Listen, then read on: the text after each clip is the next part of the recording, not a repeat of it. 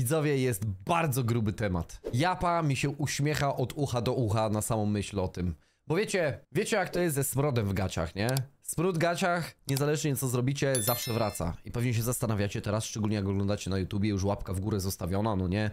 Jesz sobie obiadek może, nie wiem, wracasz z pracy, jedziesz do pracy ze szkoły, z uczelni i tak dalej, się zastanawiasz, o czym on znowu gada, o co chodzi? Smród w gaciach od razu mi się przypomina piękną epopeję, która jeszcze nie tak dawno temu trwała na YouTubie i była to zdecydowanie pozycja, której poświęciłem najwięcej czasu przedpremierowo.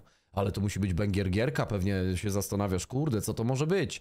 The Day Before! Największy, najlepszy survival, jaki kiedykolwiek zagościł na naszych komputerach, niestety tylko przez krótki okres czasu, bardzo, bardzo podejrzane i dziwne, powraca! Tak, a właściwie twórcy The Day Before powracają. Proszę bardzo. Byli odpowiedzialni za największy przekręt ostatnich lat. Teraz wracają. Twórcy The Day Before przekonują, że każdy zasługuje na drugą szansę.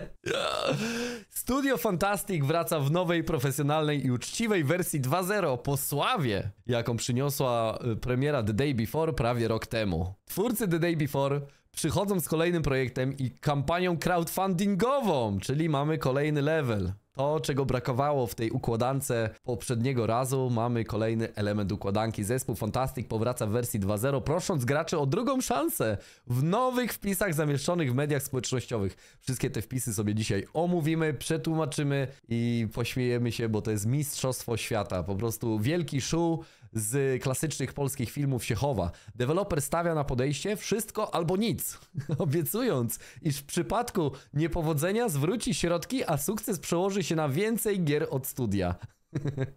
Do tego wszystkie wpłaty zostaną przeznaczone na produkcję gry, a nie na zysk. Zespół bierze też na siebie całą odpowiedzialność za porażkę The Day Before. Fantastic 2.0 nie zachwycił graczy. Powiedzieć, że gracze nie przyjęli ogłoszeń Fantastic 2.0 z entuzjazmem byłoby sporym niedopowiedzeniem. Nie Wpisy dewelopera w serwisie X mają o wiele więcej komentarzy niż polubień, a kampanię na Kickstarterze dla Escape Factory, bo tak zwie się nowe dzieło studia, wsparło całe 12 osób, to 12 za dużo. Inna sprawa, że ta dwunastka wpłaciła już 1456 zł z 59 590 zł. W ogóle jaka ciekawa liczba celu, no nie? Pierwszy raz słyszę, żeby gra wymagała takiej, takiej okrągłej liczby. Nie wiem, to mi bardziej brzmi jak liczba jakiegoś semi, semi sportowego samochodu, którego może jeden z twórców The Day Before nie dał rady sobie kupić za hajs, który zgarnęli za The Day Before. Chociaż niby tam e, większość pieniędzy wróciła, wliczając w to we mnie, wróciła do graczy, bo Steam po prostu tupnął nogą i oddał im te pieniądze. E, nawet najbardziej profesjonalni dziennikarze, branżowi nie kryją swojego oburzenia tym, co uczciwie można nazwać jedynie bezczelnością twórców. Cała otoczka akcji wygląda jak żart rodem z kabaretu od nowego logo, dokładnie jego koloru, przez deklarację zmiany i profesjonalizmu, przyznanie się do błędów i planów tworzenia gier, które będą kochane przez dekady. ja na pewno The Day Before nie zapomnę przez dekady. Po proszenie graczy o wsparcie, także finansowe. Tak, to poczynanie twórców, których gra budziła kontrowersje na długo przed premierą, a po debiucie porzucono ją zaledwie kilka, po kilku dniach. Przynajmniej serwery pozostały aktywne dłużej niż Concorda. No jest to jakiś achievement. Chociaż, nie no, yy, czy Concord był krócej niż The Day Before. The Day Before chyba 72 godzin nie przetrwało. Co do Concorda nie wiem, ale no, tak, yy, niezłe porównanie, szczególnie, że no Concord przynajmniej w swojej obsraności to w żaden sposób nie oszukiwał graczy, co najwyżej po prostu był słabą grą, którą gracze całkiem słusznie zrugali i e, duża korporacja stwierdziła zamykamy, żeby powrócić pewnie w wersji free to play i battle passem za jakiś czas. Ale to chyba jedyne porównanie, które stawia The Day Before w jako tako pozytywnym świetle. Zestawienie tej gry z tytułem, którego wydanie wielu graczy uznaje za największą porażkę ostatniej dekady. Druga czy kolejna szansa? W zasadzie nie ma co przytaczać poszczególnych komentarzy, gracze są po prostu oburzeni i zniesmaczeni zapowiedzią Fantastic 2.0 oraz prośbą o drugą szansę, jak bowiem zwraca uwagę sporo internautów, nie jest to bynajmniej drugie podejście zespołu do tworzenia gier. Zespół ma na swoim koncie kilka innych produkcji, nie wszystkie odniosły Sukces na miarę The Day Before, ale część z nich również zostało de facto porzucona jeszcze przed zamknięciem studia. Przy wielu z nich pojawiały się też oskarżenia o tak zwany asset flip, czyli oparcie gry na gotowych obiektach z, zamiast tworzenia modeli samodzielnie. To akurat taki argument, już o tym rozmawialiśmy wielokrotnie w wielu, naprawdę, naprawdę w wielu materiałach, które pojawiły się na kanale Dobrodziej na YouTubie z cyklu The Day Before. Macie tutaj gameplay i długo przed premierą już e, każdą zapowiedź rozbierałem na części pierwsze. E, w niebo wzięty byłem po prostu, bo to taka piękna tragedia i najadłem się jadu niesamowicie dzięki temu. E, ale no wiecie, dużo gier używa asetów gotowych, po to są te asety na tych marketplace'ach, tylko sztuką jest nie używanie tych asetów, tylko użycie tych asetów i odpowiednie dopasowanie do swojego projektu, a nie po prostu wrzucenie ich jak ziemniaków do worka i liczenie na to, że stworzy to jakąś spójną całość. Fall Guys 2.0. O, będziemy... Escape Frag... O, już wygląda fantastycznie. Będziemy musieli obejrzeć ten trailer, koniecznie. Te same zarzuty pojawiają się do, co do projektu Fantastic 2.0. Escape Factory również zdaje się korzystać z gotowych asetów, a do tego schemat rozgrywki wydaje się być kalką Fall Guys. Zabawa ma bowiem sprowadzać się do wieloosobowej rozgrywki, w której gracze będą starać się uciec z fabryki, a na ich drodze staną fajne wyzwania oparte na systemie wiarygodnej fizyki. No, kolego. Co prawda, tutaj mamy widok z góry zamiast za pleców postaci oraz mniej kolorową stylistykę, ale pierwsze screeny na Steamie faktycznie budzą skojarzenia z produkcją studia. Nie trzeba chyba dodawać, że te dwa zarzuty tylko pogłębiają niechęć i brak zaufania do nowego profesjonalnego i uczciwego studia Fantastic wersji 2.0. Na marginesie nie liczcie na powrót ani do Day Before, ani Prop Nighta. Zespół stracił bowiem prawa do obu tych produkcji, o czym poinformowano na oficjalnej stronie nowego zespołu. Co ciekawe, tutaj mogę dopowiedzieć, że prawo do The Day Before i do Prop Nighta przejęła firma, która wydawała The Day Before i jest to ogromny moloch y, Mer- M- Maitona, jeśli dobrze pamiętam, ogromny moloch rosyjski, przede wszystkim specjalizujący się w grach mobilnych, no i podejrzewam, że tam w roli jakiejś ugody, a może i układziku, jak to w Rosji, y, układziku po prostu oni sobie przejęli te marki i albo będą się kurzyć przez lata, albo za jakiś czas, wcale bym się nie zdziwił, jakby nowe studio pod inną nazwą miało zamiar się znowu zająć tym projektem. No, pięknie tutaj sobie czytamy. Idąc dalej, na Twitterze Fantastic, jak już było wspomniane, wrzucili oni na swoją stronę plik PDF. Plik PDF, który omawia jakie wnioski wyciągnięto, jaki jest plan na przyszłość. I wiecie jak to jest, jak, jak złapiesz złodzieja za rękę, który ewidentnie coś kradnie, to nie ma znaczenia, czy złodziej poniesie tego konsekwencje, czy jakąś odpowiedzialność go spotka. Ma znaczenie przede wszystkim to, że złodziej powie, że o stary, złapałeś mnie, ale następnym, nie, no następnym razem już tego nie zrobię, obiecuję ci, zaufaj mi. Przecież ma wszelkie ku temu podstawy, no nie? Fantastic 2.0, nie? No to, to wygląda po prostu jakbyś coś, co zamówił na Fiverrze, naprawdę pod względem grafiki. Świetne to jest. Fantastic 2.0. Plan do odnowy. Mamy tutaj cały... to, przecież to wygląda... Widzowie, mieliście w szkole y, lekcje przedsiębiorczości? Ja miałem coś takiego w liceum, gdzie no to wyglądało właśnie na zasadzie, że jakaś typiara przychodziła i mówi ci, "No, napiszcie biznesplan dla swojej firmy albo coś takiego, to mniej więcej tak te biznesplany wyglądały, nie? Ważne, że był fajny znaczek, fajna graficzka, no nie, i tam parę para- paragrafów ładnie sformatowanych i jest gitara. Zobaczmy sobie, co tutaj jest napisane. E, już tu sobie wrzucam do tłumaczenia. Dobra. Fantastic 2.0. Podstawy, principles, zasady. Uczciwość. Od teraz nasz rozwój i marketing będą opierać się na zasadzie uczciwości. Zobowiązujemy się do budowania zaufania w naszej społeczności poprzez bezpośrednią i szczerą komunikację. Zobowiązujemy się do otwartego informowania o wyzwaniach, z którymi się mierzymy, bez ukrywania jakichkolwiek szczegółów. Wszystkie aspekty naszego marketingu będą, będą przejrzyste, klarowne i wolne od upiększeń. Przejrzystość. Rozumiemy nasze błędy i brak komunikacji w przeszłości. Zobowiązujemy się do zapewnienia przejrzystości w rozwoju oraz otwartego dostarczania szczerych i pełnych informacji. Będziemy aktywnie angażować się w społeczność na naszych platformach, szczególnie na Discordzie, aby każdy był poinformowany i zaangażowany. Czyli jeszcze więcej będzie wolontariatu, tak zakładam, no bo ktoś musi zrobić tą grę, no nie? A najlepiej jakby tą grę ktoś zrobił za darmo, więc tak jak w przypadku The Day Before, myślę, że jeszcze większa rekrutacja będzie na jakikolwiek wolontariat z całego świata oczywiście. Nie mogę się doczekać kolejnego vloga na y, oficjalnym kanale Fantastic, gdzie bez ładu ani składu będzie jakieś biadolenie o tym, jak robią sobie grę, siedząc jednocześnie po kolana w śniegu na Sybirze na przykład. Mm, Przed oficjalnym wydaniem jakiegokolwiek produktu zaoferujemy darmowe, otwarte bety do wczesnych testów. O, aby zebrać opinie i zapewnić najwyższą jakość. Profesjonalizm. Przechodzimy z podejścia opartego na wolontariacie do takiego, które mocno opiera się na profesjonalizmie. Z wolontariatu na profesjonalizm. Naszym celem jest zebranie profesjonalistów z branży oraz specjalistów, a także podniesienie umiejętności naszych obecnych pracowników. Czyli oni nawet jeszcze nie mają teamu do budowania tych gier. Na razie to wygląda tak. Dobra, złapaliście nas, jest nam bardzo przykro. Teraz będzie lepiej. Teraz będzie inaczej. Stary, zaufaj mi, będzie inaczej. Nie mamy jeszcze niczego, ale daj 5 złotych. Będziemy nieustannie podnosić wszystkie standardy i praktyki, dążąc do tego, aby stać się firmą, która zasługuje na Twoje zaufanie i podziw. Dobra, co tutaj dalej mamy? O, strategiczne cele przez 2024 i 2025. Pokaż mi to, pokaż mi to. Aktywne Zaangażowanie społeczności w proces rozwoju zostanie osiągnięte poprzez regularne aktualizacje, pętle feedbacku i wydarzenia społecznościowe na Discordzie oraz innych platformach mediów społecznościowych. Przejrzystość zostanie wzmocniona poprzez częstą komunikację i regularne aktualizacje dotyczące rozwoju, aby społeczność była na bieżąco na bieżąco i zaangażowana. Podniesienie standardów rozwoju kluczowym celem jest zobowiązanie do dostarczania wysokiej jakości innowacyjnych gier, które spełniają lub przewyższają oczekiwania społeczności. No, oczekiwania społeczności, jeśli ona w ogóle istnieje, to podejrzewam, że są zerowe, więc to akurat nie będzie trudne. Kompleksowe testowanie i opinie społeczności poprawią jakość techniczną, zapewniając, że finalny produkt będzie dopracowany do najwyższych standardów. Rozwój profesjonalizmu. Pro...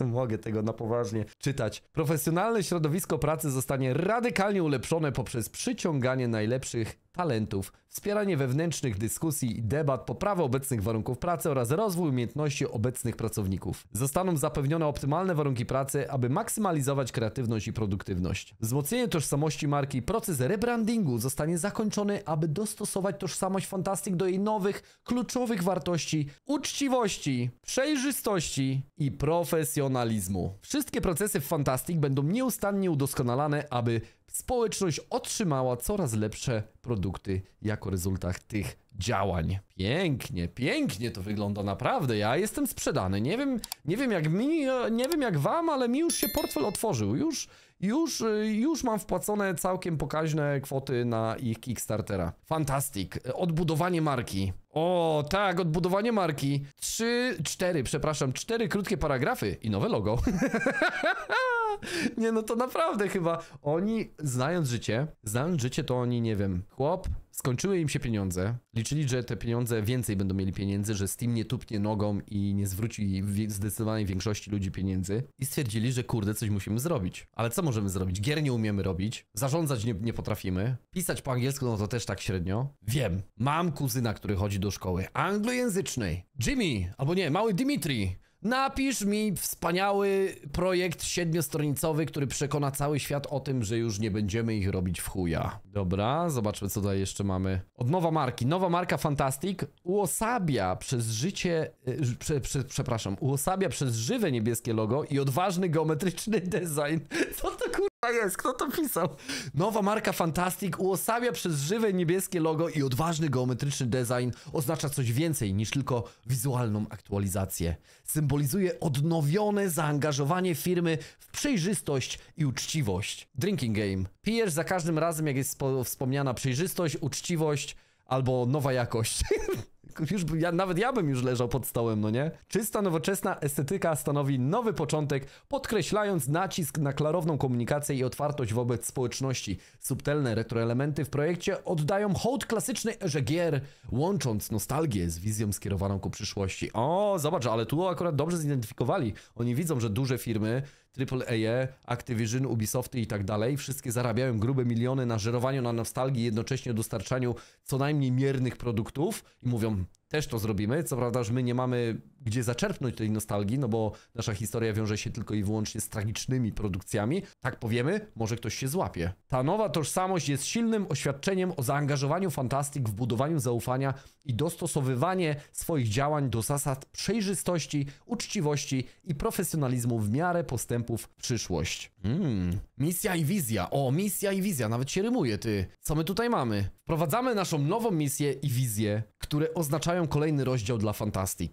Nasza misja koncentruje się na dostarczaniu wysokiej jakości doświadczeń w grach, łącząc innowacyjność, kreatywność, uczciwość i przejrzystość. Nasza wizja prowadzi nas w kierunku stania się jedną z najbardziej uwielbianych firm w branży gier na świecie. Koniec! Widzowie, co możemy wywnioskować z tego jakże pięknego manifesto, z tego, no takiego arcydzieła dawno nie czytałem i w pełni mają oni moje poparcie i zaufanie. Zaraz wyskakuję z pieniędzy i wchodzę na ich Kickstartera. Tutaj widzę, że o, co my tutaj mamy? 635 dolarów z 20 tysięcy dolarów już zostało wpłacone. Ludzie, którzy wpłacili na to pieniądze, to ja wiem, twoje pieniądze rób z nimi co chcesz, ale na litość boską to albo byli twórcy tacy jak ja, którzy tylko zacierają ręce, żeby znowu cisnąć bekę, albo to są ludzie, którym trzeba założyć hasło na płytę główną, albo na karty kredytowe najlepiej. Coś niesamowitego. Escape Factory. Pokaż mi to. Pokaż ten trailer.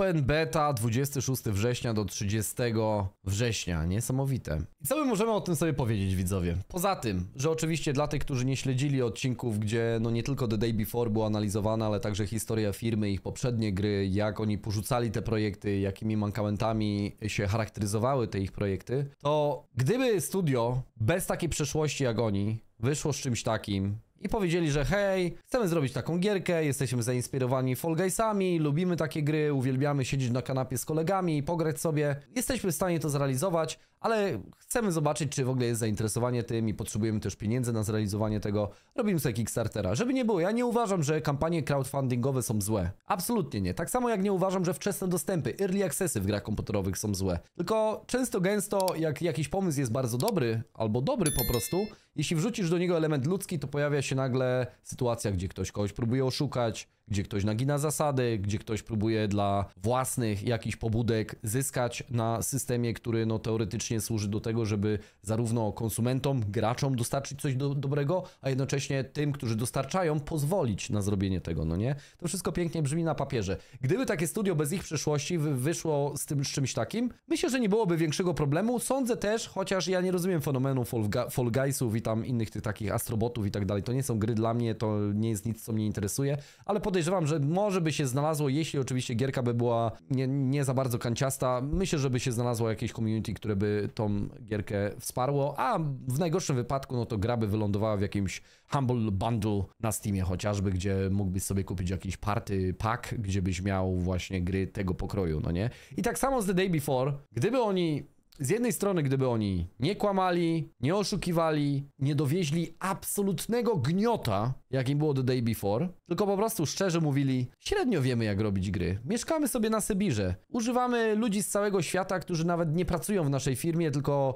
wolontaryjnie pracują nad tym, żeby nam pomóc. Gra pewnie po będzie pozostawiać wiele do życzenia, ale liczymy na to, że jakoś z biegiem czasu będziemy w stanie ją dopracować. No to raz, Gra na pewno by nie miała takich zasięgów, jakie miała. Przypomnę, że The Day Before przez bardzo długi okres czasu było numerem jeden najczęściej wishlistowanej e, pozycji na Steamie. To już, no, mówimy tutaj o setkach tysięcy osób, które kliknęły dodaj do wishlisty. E, oficjalnych jakichś danych, ile tam osób rzeczywiście e, kupiło The Day Before na dzień premiery no nie ma chyba, przynajmniej nie pamiętam, ale zdecydowana większość ludzi na szczęście po interwencji Steama, po tym jak bardzo zwodnicze względem marketingu, który był prowadzony, e, była jakość produktu, no to Steam e, wszystkim chyba praktycznie, którzy się o to ubiegali w odpowiedniej ramie czasu zwrócił pieniądze, ale też nie wiemy ile osób na przykład olało temat i stwierdzili, a pal licho straciłem pieniądze, to straciłem, a te pieniądze oczywiście zostały zagarnięte przez braci z rosyjskiego Sybiru, którzy są odpowiedzialni za studio Fantastic. Nie ma tutaj żadnej podstawy do tego, żeby ufać tym ludziom,